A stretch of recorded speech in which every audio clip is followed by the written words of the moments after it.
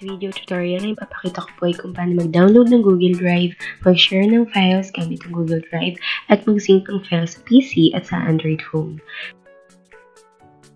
So let us start with how to download Google Drive. So first po, syempre punta mo muna kayo sa inyong browser and type google.com slash drive. And then, pag nag-load na po yung page, just click download on the upper right side. So there are two options which is personal and business. So we are going to choose backup and sync. So you're going to click download and then agree. So wait until ma-download po. So ito na po for example yung na-download na file. And wait until ma-install na po yung software. So pag tumingin po tayo dito sa right side ng ating taskbar, makikita niyo po yung backup and sync from Google which is the Google So, pag kinlik po natin yung icon na yon ng Google Drive, makikita niyo po yung inyong email. As you can see, the maximum gigabytes of the files na pwede natin i-upload using Google Drive is 15 gigabytes. That is for free. So, kung gusto niyo po na mas mataas pa sa 15 gigabytes, kailangan niyo po mag-upgrade which requires a payment of 89 a month and 149 a month, depende po kung ilang gigabytes. So, kung ayaw nyo naman po, you may add a new account So, this process is the same lang po. Ngayon lang po kayo magsa-sign in using Google Drive. So, ito po yung continuation ng ating installation kanina. So, once na ma-install na po yung software, Google Drive, backup and sync, ito na po yung next natin gagawin, which is to sign in using your account in Google.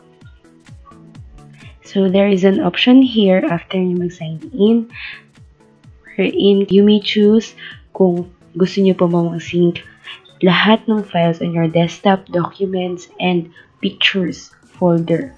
So, kung gusto niyo po mag-sync lahat ng files doon, just check this box. And kung ayaw naman po, uncheck niyo lang po. Pwede naman po hindi na lang natin i-check since meron naman pong bukod na folder para sa Google Drive kung saan po tayo pwede mag-save ng files. So, click next button and then may mag-appear pong folder which is yung Google Drive na po. So, let us try saving a picture dito po sa ating folder ng Google Drive. So, ang sinave ko po dito ay yung picture na kulay pink.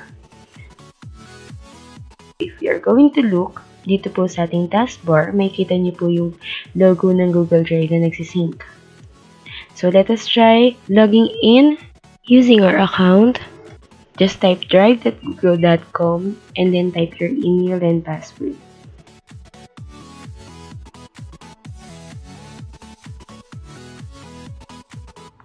Kung pinalikan po natin yung taskbar, makikita nyo po na nagsisync pa rin yung image and wait until date na po. So makikita na natin sa ating Google Drive. If you wanted to download the picture or the file, just click lang po yung picture and then makikita niyo po sa upper right side yung icon for download which is yung arrow na meron pong line. Kung gusto niyo naman pong i-share yung picture using a link, click niyo lang po yung tatlong dots na nasa upper right and then choose share.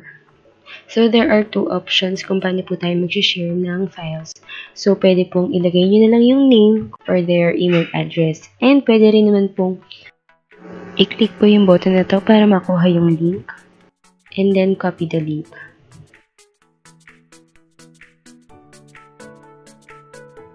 Para ma-sync naman po yung file sa ating Android phone, go to Google Play and install Google Drive. So, once meron na po tayong Google Drive, all you need is to open the app and then log in using your account. So, ayan po. Nandito na rin yung picture na color pink na sinave ko kanina. To download or share the file, click nyo lang po yung tatlong dots na nasa baba ng file and then lalabas po yung options for download and share.